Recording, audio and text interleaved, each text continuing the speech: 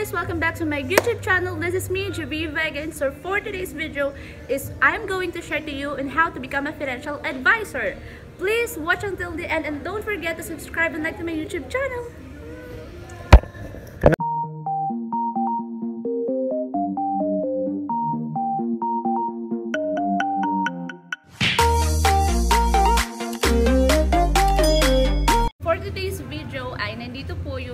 Isa kong ka-financial advisor. Hey guys. He is AR and he will be sharing on how to be a financial advisor.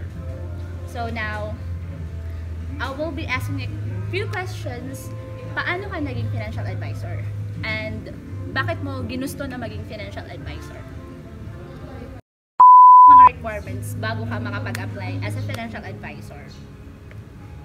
First of all guys, gusto ko po kasing magkaroon ng trabaho. And yung unang requirements is magkaroon ka ng dalawang valid ID. And next guys, kailangan nyo po mag-take ng exam para po magkaroon po kayo ng license Sa Insurance Commission. sa Insurance Commission. Yes. Also guys, you need to pay 1,200 for your examination. Yes.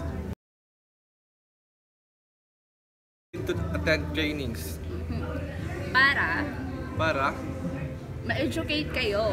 para po ma-educate po kayo. Kailangan nyo po malaman and ma-train as a financial advisor po. Correct. So, alam nyo na.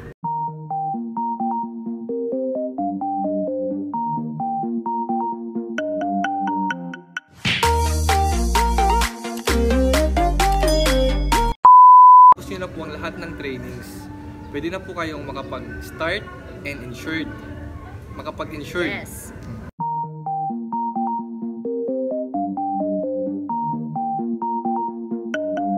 Guys, Nagkaroon na po kayo ng idea to become a financial advisor. Well, thank you, R, Thank you, for Jo. that share. And I hope you like this video. So don't forget to subscribe and like to my YouTube channel. See you in my next vlog. Bye-bye. Bye guys! Then, And next guys, kailangan nyo po mag-take ng exam para po magkaroon po...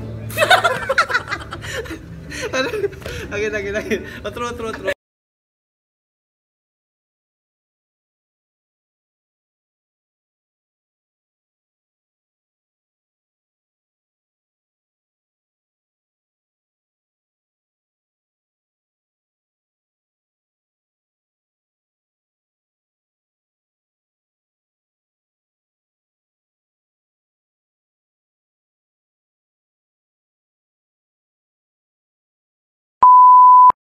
forget to subscribe and like my YouTube channel. Bye.